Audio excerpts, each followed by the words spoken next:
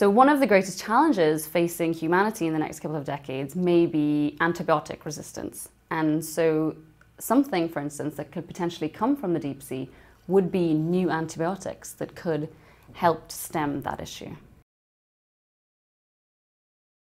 So, deep sea mining is essentially extracting minerals from the deep sea floor. Things like deep sea mining, if not done responsibly, could result in irreparable damage. We might lose species before we know them, and those species might have properties that through bioprospecting could be really useful to us in the future.